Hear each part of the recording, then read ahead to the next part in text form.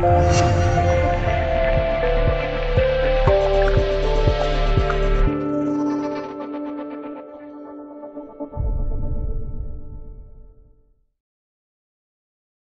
太宗李世民老牛吃嫩草，武则天十四岁便进宫成为李世民的才人，就是陪李世民暖床睡觉、批阅奏折、打豆豆。从十四岁朦胧少女到二十六岁成熟少妇，把十二年最美好的少女青春给了当时已经年仅五十岁的白老头子李世民。就这样，武则天还不满足，竟然趁老公李世民病重期间，和李世民的儿子李治搞起了不清不楚的关系。其实，武则天的一生都可以说是神奇的人生，所以说武则天也是家喻户晓的传奇人物。无人不知，无人不晓。在李治的帮助下，成功登上了皇位，从此就一手遮天，万人之上。而且自己的儿子又不行，武则天当然选择当一把皇上过过瘾。那么，但是在这样的背景之下，最后武则天并没有把自己的权力传给自己的家族，反而又重新还给了李家。这到底是为什么呢？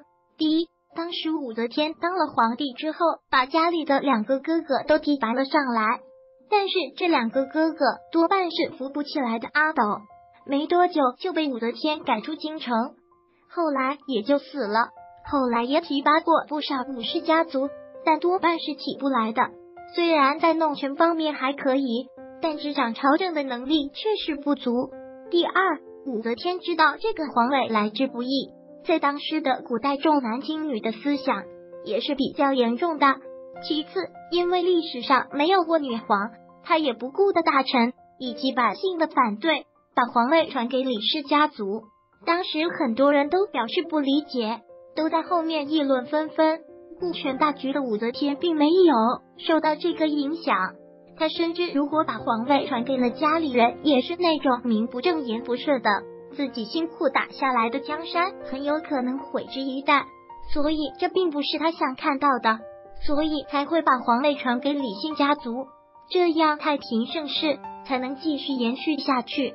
网友评论：武则天是乱淫不乱政，人民能够安居乐业；慈禧是乱政不乱淫，把国家搞得积弱积贫。相比之下，还是喜欢武则天，武则天还是不错的。起码她把国家看得重要，所以传为理性。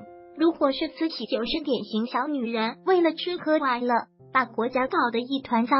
这就是与慈禧的区别，因为他是个政治家，而慈禧是自私自利的阴谋家。